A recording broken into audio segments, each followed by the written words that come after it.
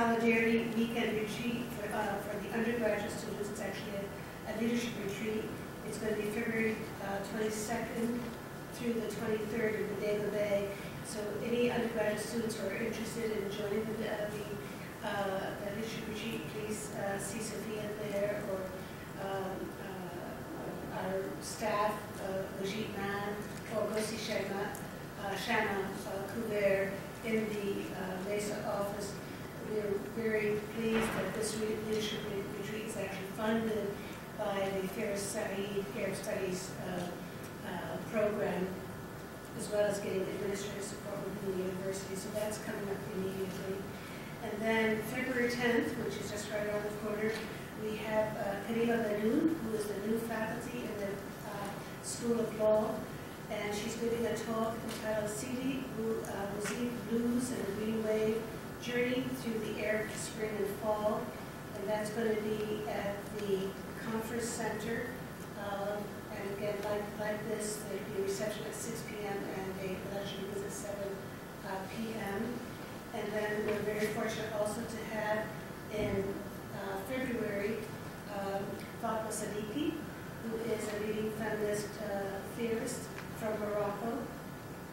Uh, She will be talking about women's rights in Morocco and the 2011 constitution that, uh, that came as a result of the Arab Spring.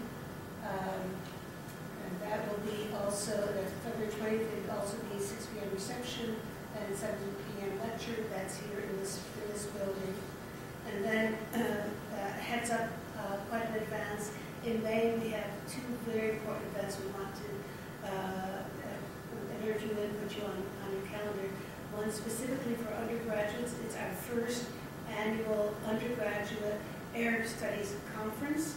And that will be uh, a opportunity, it's uh, May 16th, for students who are involved in Arab Studies in any way, who are interested in sharing their research, their thoughts, their reflections, their art, their music. We're going to welcome many different types of presentations.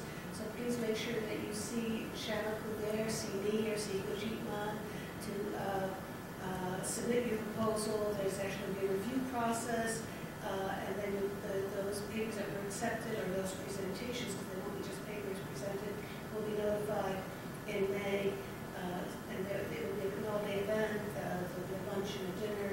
And for that particular event, we have in our audience the gentleman to whom we are indebted, uh, Mr. Amir Sawab, and Flagbona Sawab, who came up with the idea. It was not our idea, it was his idea, their idea, and uh, they are raising all the funds to pay for this conference. It's a wonderful opportunity for undergraduate students. So, and if you do any paper that you that you're working for in a class or a presentation that you're uh, that you're uh, developed for yourself outside of class. So come see us. We really want to support undergraduate uh, students doing Arab studies. And the last one announcement I want to make is uh, our first Arab Studies conference. It's going to be May 2nd and 3rd.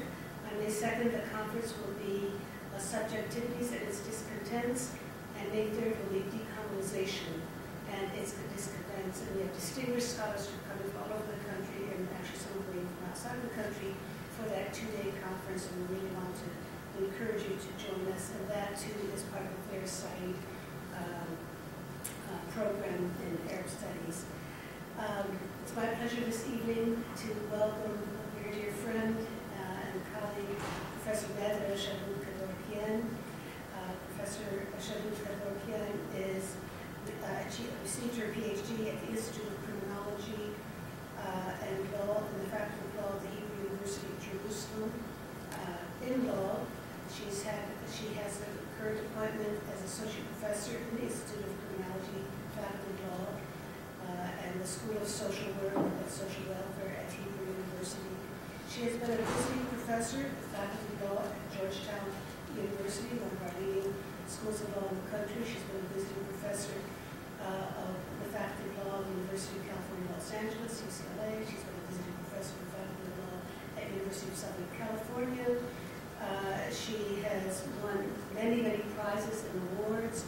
Uh, She received the, in 2011, Distinguished Award in the Field of Law and Society, uh, International Scholarship Prize, the the Women's Rights Prize from the Peter and Patricia Gruber Foundation, the Phenomenal Woman Award from the California State University in Northridge, the Golda Meir Fellowship from Hebrew University in Jerusalem.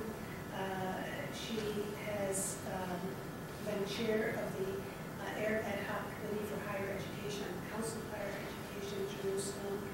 Uh, She has been a leader in training judges and uh, uh, rape crisis workers uh, in, in Israel and Palestine.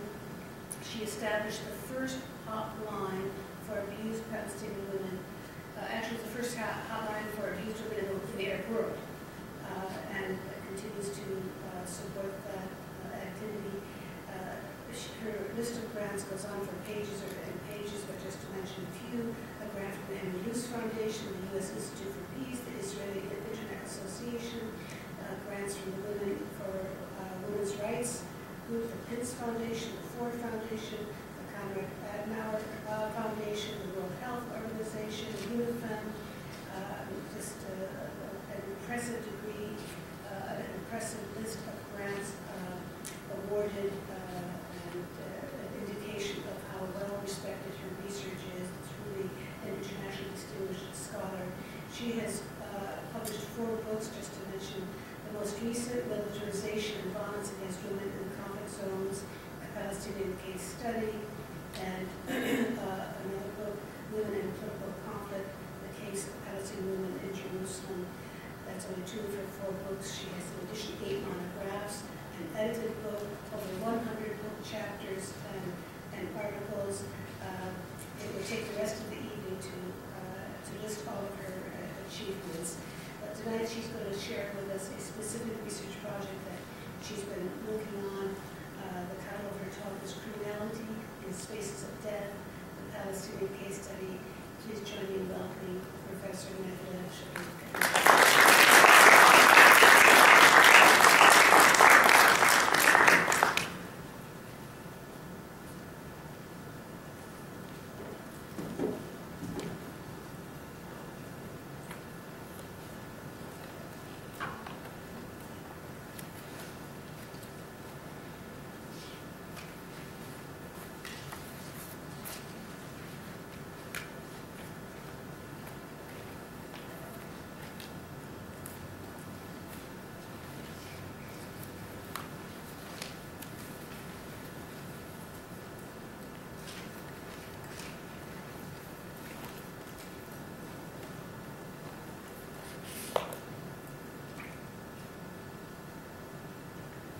Thank you, Sarah, for such an introduction.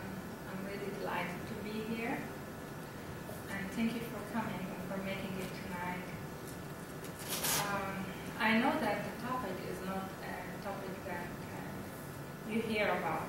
Talking about death and criminality in spaces of death is a bit hard to comprehend, but this is the topic that I'm researching for the past five, six years.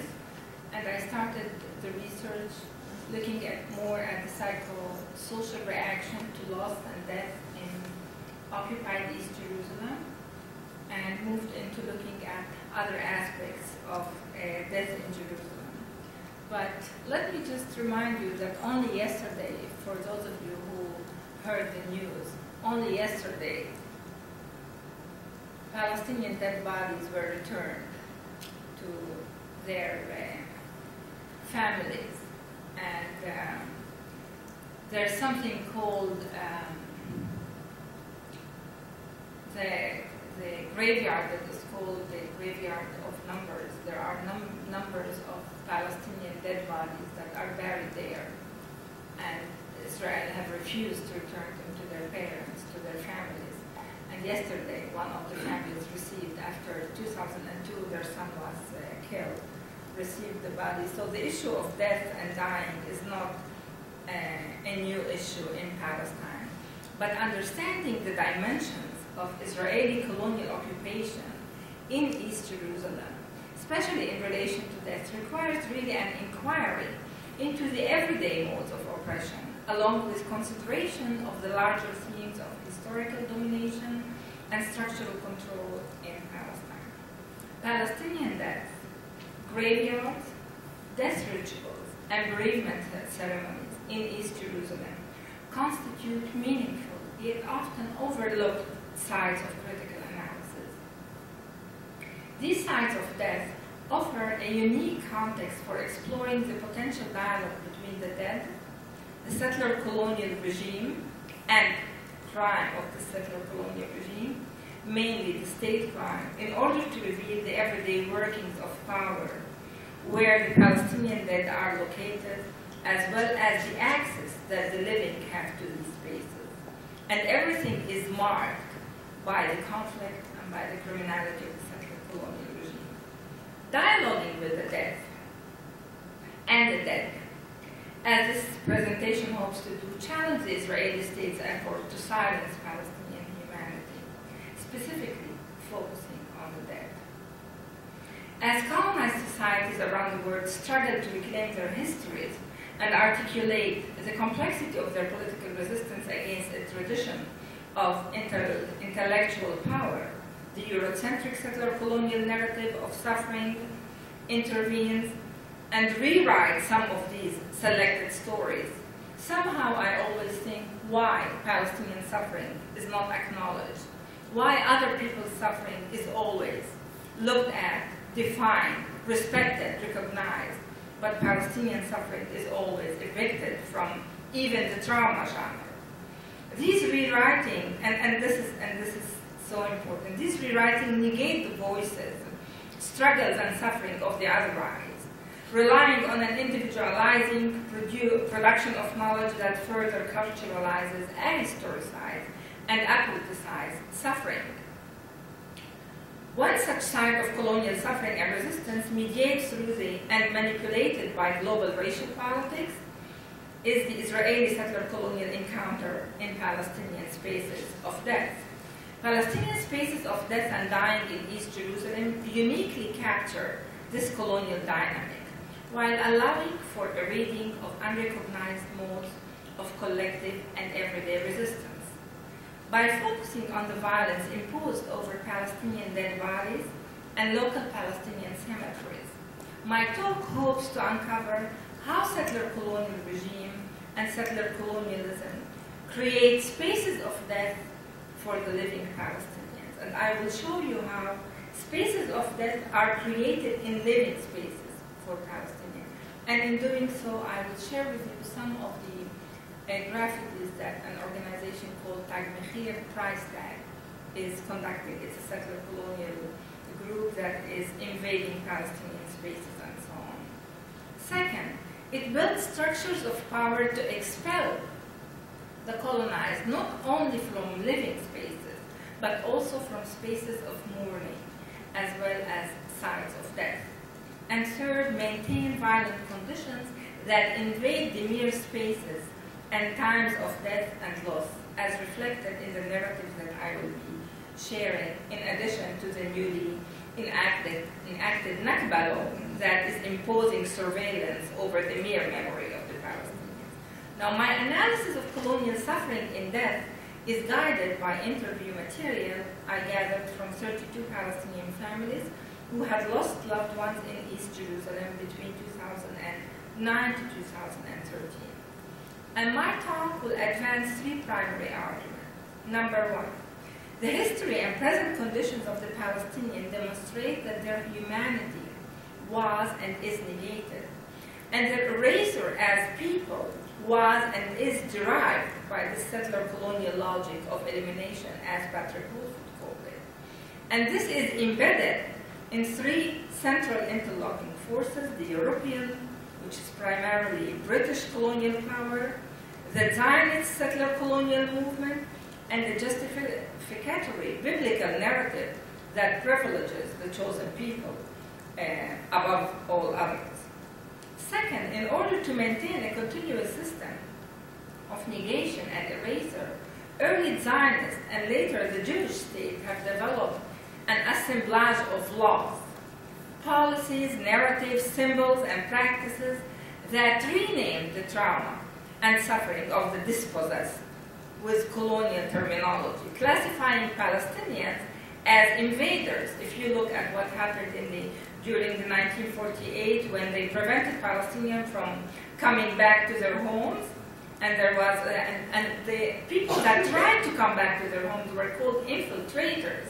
So this set of, this assemblage of different laws that started calling the indigenous, the native, as an invader, while the settler, or indigenizing the settler, as Lorenzo Veracini would uh, call or using laws such as present absentee, calling as a security threats or demographic threats.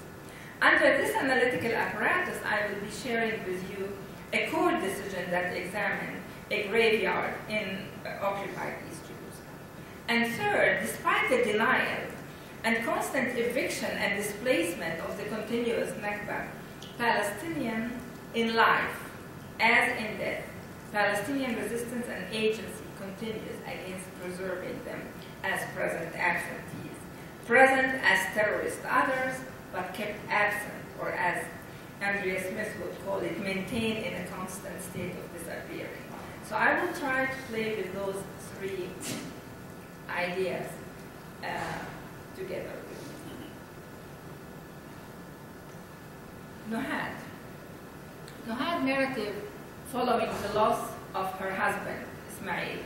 My husband was in prison and he suffered a lot and was hoping to be released earlier. In his last days before he died, he was very sick and he wanted to be with us before it was too late. But Simon, the prison guard, told him that he would leave prison only in a black bag as a dead body. The nurse in the hospital told my husband that he could file a complaint against the prison guard, and he did, but he died four days later. When they sent us his body, I wanted it free. Out of the black bag, the one that they used to wrap dead prisoners. I knew what he wanted us to do. I knew he wanted us to see me and tell me he is free now. When he was in prison, he was worried that when he would be released, he wouldn't be able to handle the heat in our house. So I told him that we managed to buy a small air conditioner and he would be released and enjoy the room very much. And they live in a refugee camp in Jerusalem. So when he died, we washed him and wrapped him in a white shroud. I saw his face. He was happy that it's not that black bag. I told them all that he wanted to be in the air-conditioned room, and we brought him and let him enjoy the room.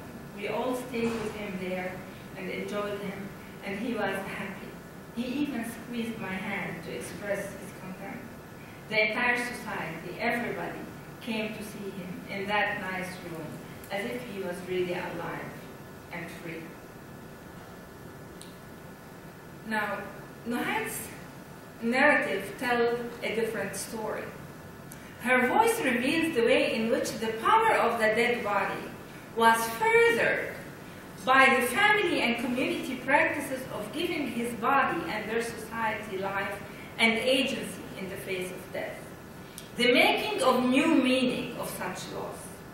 The positive outlook, the building of hope and the spirituality it carries can be seen as an expression of the community's ability back to colonial power.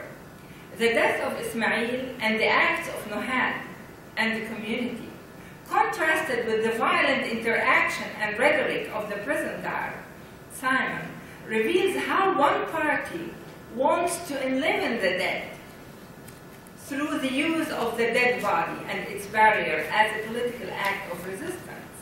And she did. She brought him, and she kept on saying, I, I brought him to the air-conditioned room.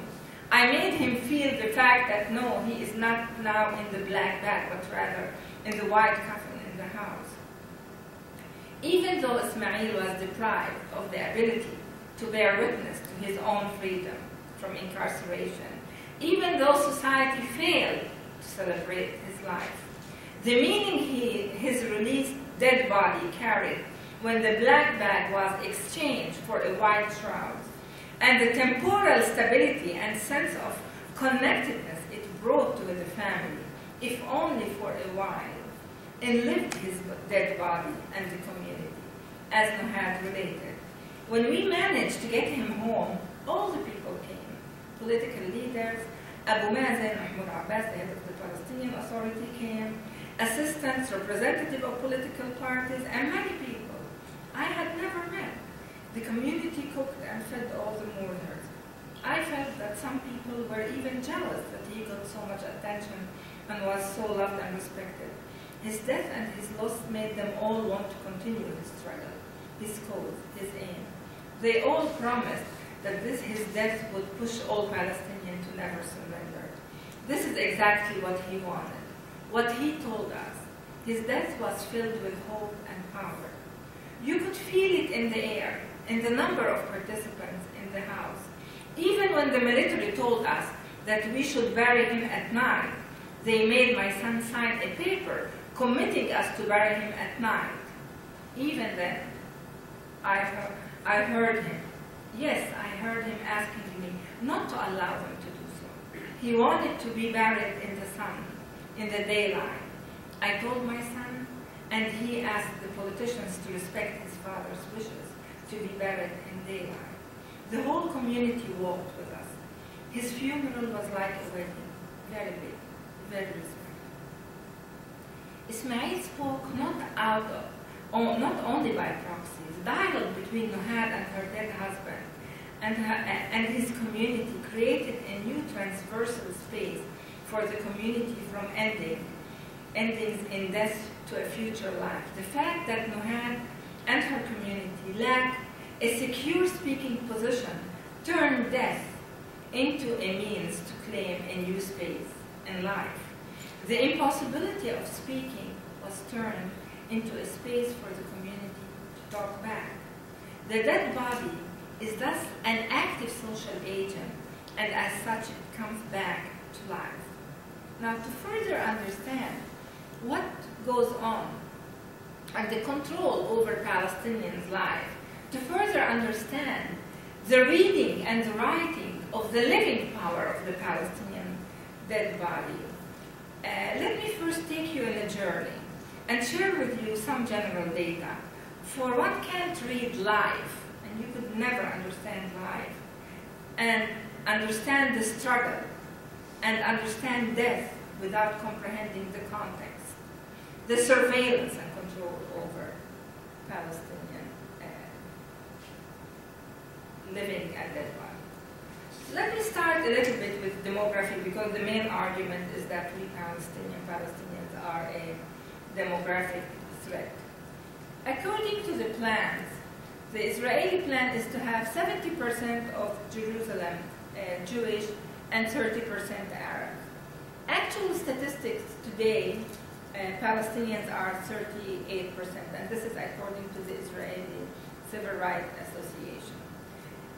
The main aim is to Judaize the space, yeah, what um, some scholars would call spaciocide. So look at what goes on on geopolitical uh, analysis. We have the wall, and the wall have evicted 55,000 Palestinians out of Jerusalem. There is uh, 130,000 Palestinians affected. 3.7 million from the um, West Bank and Gaza are separated. In addition, there are checkpoints. 16 checkpoints are there. We, there is the permit system that is purely a uh, legal system to control and displace Palestinians. There is land confiscation and there's uh, the housing demolition. Just look at the land and the zoning um, uh, in Jerusalem. So you could see uh, it shows that 35% of the land is expropriated by, for Israeli settlement. And I, I have added today, only after a talk with Saad, uh, a map just to, to show you exactly what goes on. So 35% is expropriated for Israeli settlement, 13% is zoned for Palestinian construction, unplanned 30%, which means we cannot use it even if it belongs to Palestinian, and 22% uh, is considered zones of a green land. And I will very soon show you the map. In addition, housing demolitions. The main aim, the main claim is that Palestinians are building without permits. Now, according to the statistics by Israelis, 94% rejection of those that are filing asking.